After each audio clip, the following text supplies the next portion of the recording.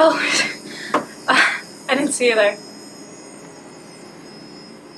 Are you interested in learning about the cryostat?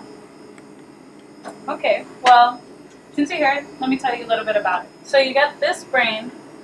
Andrea, I have a question. Yeah. I have this brain that uses cannula, and I to know if this cannula was misplaced.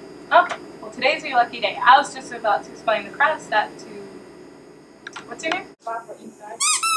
I'm Andrea Van Duinen. And I'm Um, by the way, what's a cannula? So a cannula is used to enter certain fluids or drugs into the rat's brain for later on experiments.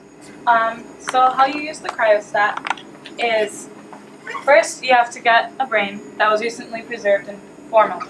Once once you extract the brain of the formalin, you rinse it thoroughly with water, and you place it in the matrix, where you slice the brain selectively where the cannula was placed, near where the cannula was placed.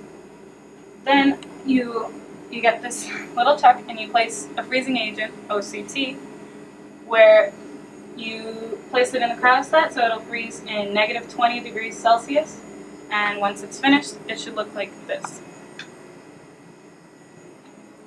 So then you place the sliced brain to the stage and fasten it.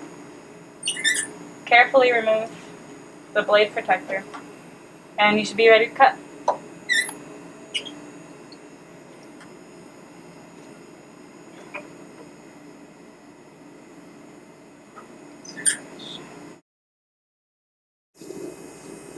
Oh wow, this brain is dramatically different than this one.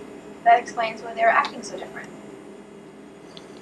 Um, but why does it matter where the cannula is placed? Yeah, That's enough questions for today. It's really early. There's never enough questions. I guess you're right. Yeah, like I wonder what an abnormally large rat brain looks like.